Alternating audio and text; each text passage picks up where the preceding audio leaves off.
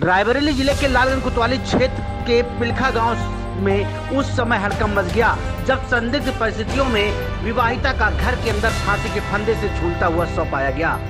फ़िलहाल शव की सूचना मिलते ही पुलिस मौके पर पहुँची और शव को कब्जे में लेकर पोस्टमार्टम के लिए भेज दिया है। वहीं मृतका के मायके वाले ससुराली जनों पर हत्या का आरोप लगा रहे हैं। उनका कहना है कि मृतका को दहेज के लिए लगातार प्रताड़ित किया जा रहा था और उसकी हत्या की गई है।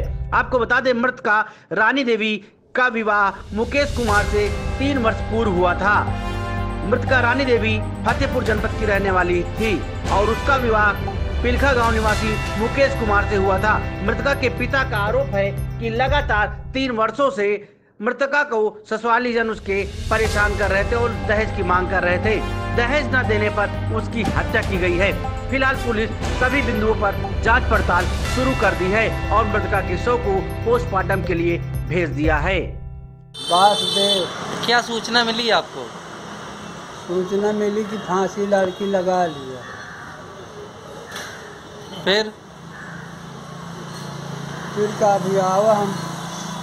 चल दिए समय लग जाए तो तैयारी बनाओगी आपको क्या लग रहा? क्या बेटी से बात हुई थी? कल हुई थी। क्या बताया? कहा चार दिन तीन चार दिन से खाना नहीं दिए न बनावेगा न कुछ। तो निकारे नहीं देख रही सास।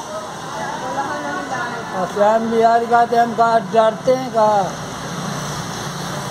तो आपको क्या लग रहा? है आपकी बेटी के साथ क्या किया इन लोगों ने? न दे तो फांसी तब वहाँ पे रहा है। नहीं जब दंड दिया गया तब को का हुई तब तो फांसी लगा देते। तो थाने में शिकायत दिया?